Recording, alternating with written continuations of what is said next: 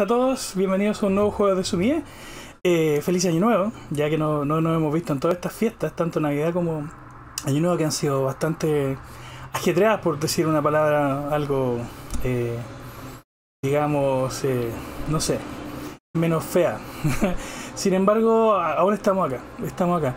Les quiero pedir un poco de disculpas, me surgió una emergencia en este momento, entonces el día, el día de hoy el video no va a ser en vivo. Así que, sin embargo, lo, voy, lo estoy grabando ahora para que ustedes puedan verlo de todas maneras a la hora que está convenida.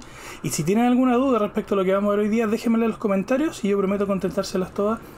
E incluso poder hacer quizá un nuevo video con sus dudas. Así que no hay ningún problema. Vamos a hacer una dinámica similar a, la, a, la, a las clases en vivo que hemos hecho hasta el día de hoy. Así que, yéndonos a eso, vamos a continuar con nuestros trabajos de eh, figura humana. Recuerden que en la última clase eh, vimos algunas nociones de figura humana porque como les decía la figura humana es difícil.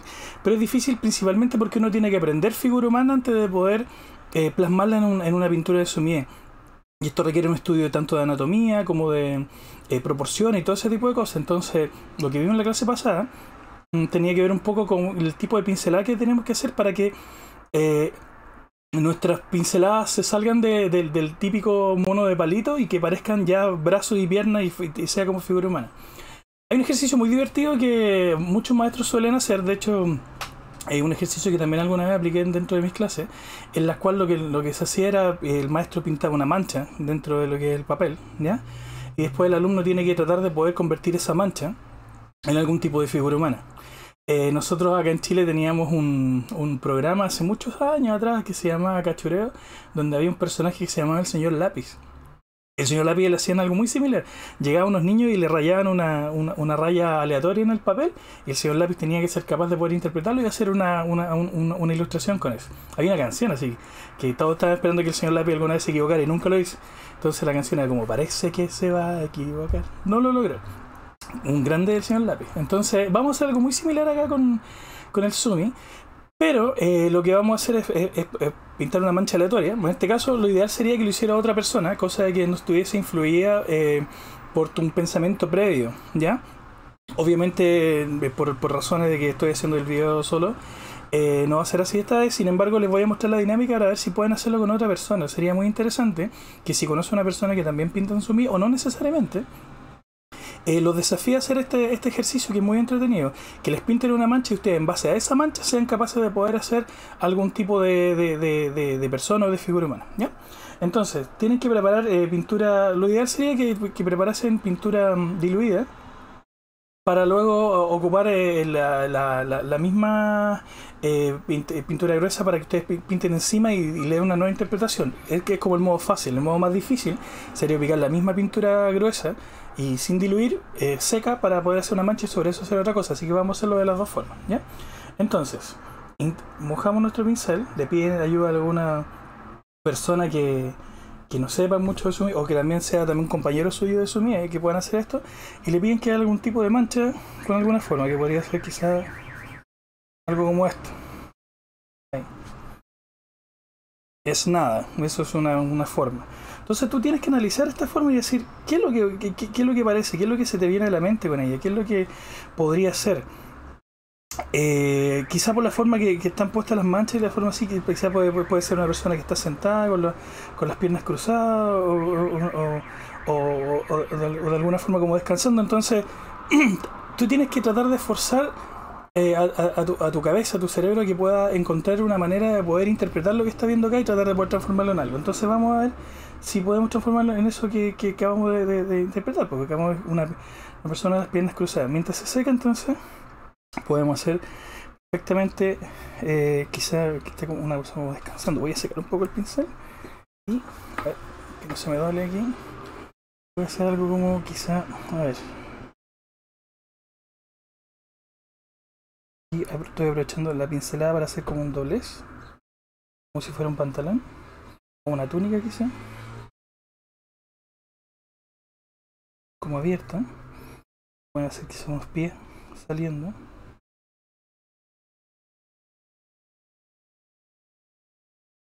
¿Cierto?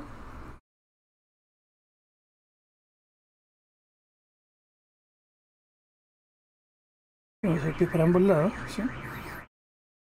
Sobre la misma podemos quizás colocar una mano acá apoyada en la, mano, perdón, apoyada en la pierna, ¿cierto?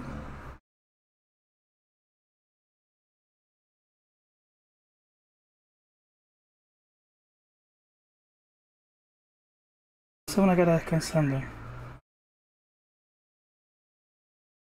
Un segundo. Parece un sonido de alarma que se escucha afuera que pero ahí creo que ya no se escucha más. Y podemos dar forma una persona está durmiendo, descansando.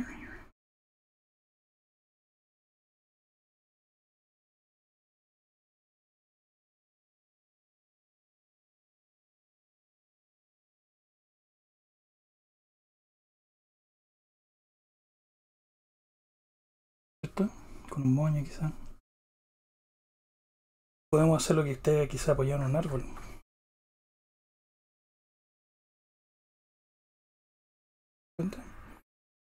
Algo de dura en el suelo.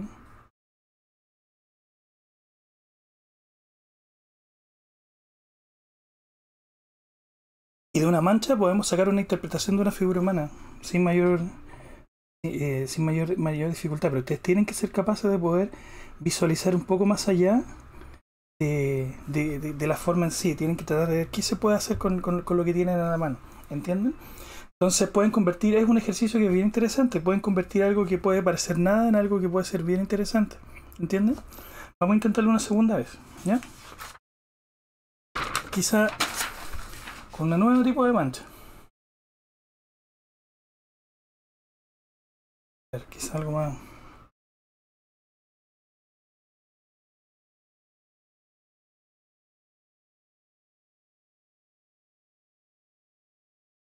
Sé que puede hacer eso. Puede ser la base de un paisaje, quizá. Por la forma en la cual están de manera eh, eh, horizontal respecto al suelo. Puede ser eh, el pelo de una persona, quizá que está mirando hacia un lado y el, el viento se lo, se lo hacia, hacia, el otro lado.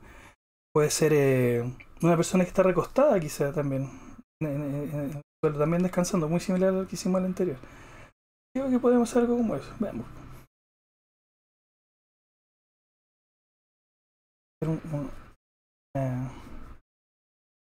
pata, ok.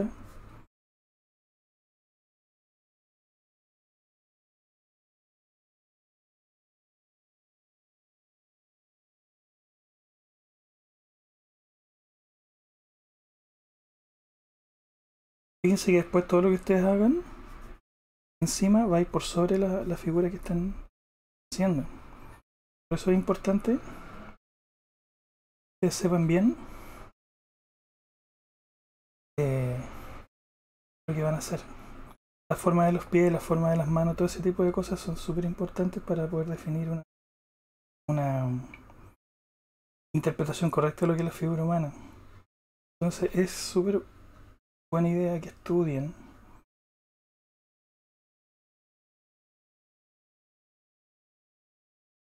Que vean libros que estudien músculos que estudien todo ese tipo de cosas porque todo eso les va a servir eventualmente para poder hacer eh, este tipo de cosas.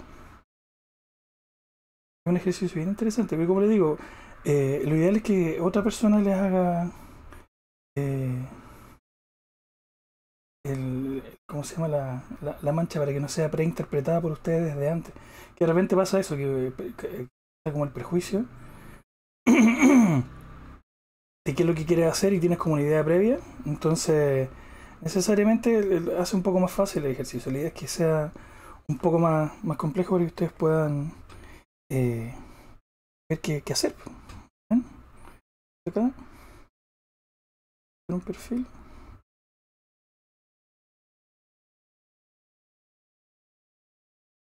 Poquitito más de precisión necesito el pincel, así que lo voy a hacer más chiquita. Mucho mejor.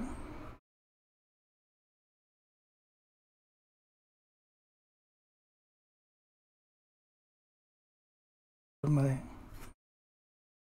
Perdón, del pómulo. Podemos eh, hacer este espacio que hay acá, quizás haciéndole el pelo un poco más largo. Ahí el pelo hacia atrás.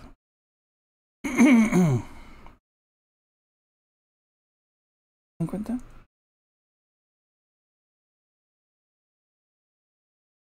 Y lo podemos poner apoyado en una roca quizá.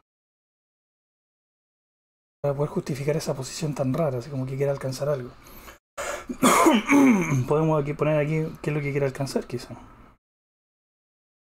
¿Qué es lo que quiere alcanzar este hombre? A lo mejor quiere alcanzar una flor. Podemos hacer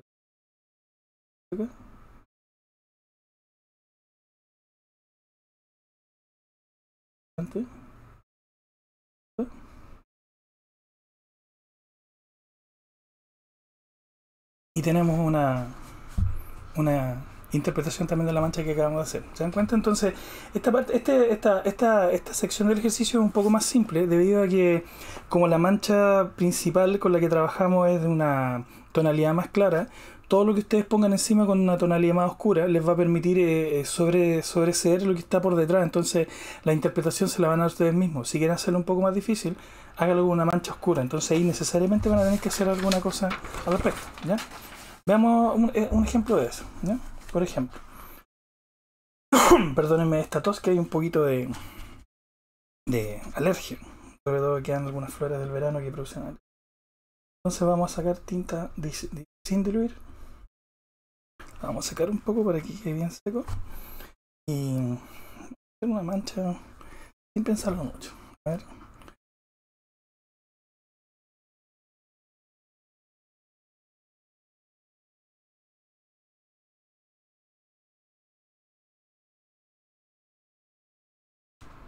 Algo como eso. Bien oscura, entonces tiene tu movimiento. Entonces puede ser, aquí puede ser una persona que está saltando quizá o puede ser una persona que está bailando con la mano extendida hacia, hacia algún lado. Tiene como esa, esa, esa, esa eh, ese flujo. Fíjate que viene un flujo que viene de acá y viene hacia acá. Entonces puedes hacer su movimiento con esa forma. Vamos a hacerlo de esa manera entonces. Vamos eh, darle unos elementos que sean conocibles.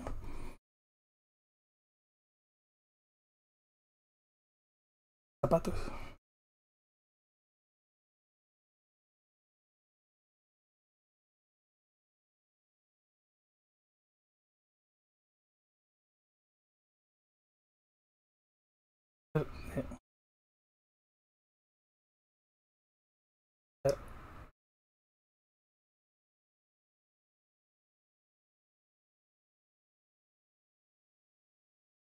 Aquí aprovechar esta forma que está acá.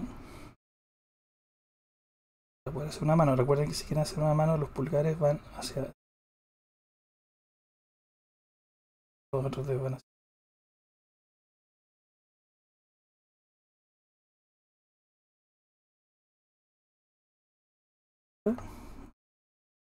ninja que tiene una una, una bandana que le cubra la cabeza.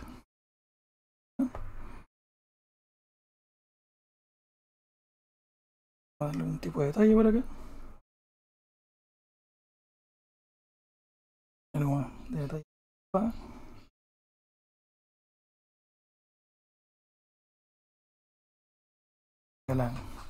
de dónde la guarda. Y si se fijan, pudimos construir también una figura con altos movimientos. ¿Ya? Solamente en este caso y con mancha oscura. ¿ya? Entonces, este es un ejercicio que es muy entretenido, muy entretenido. Eh, pero también es, bien difícil, como les digo, para que les quede bien tienen que tratar de poder dominar bien la proporción de la figura, entonces les recomiendo mucho que vean el video anterior para que vean y, practiquen bien lo que son las proporciones de la figura humana y una vez que lo tengan proporcionado, pídale a alguien que le haga algunas manchas, ustedes traten de ser el propio señor lápiz, aquí van a ser los señores pinceles, y tratar de poder lograr este tipo de, de, de, de formas em, con, em, con este ejercicio que es muy bueno para, para, para, para, la mente y para el cerebro en general.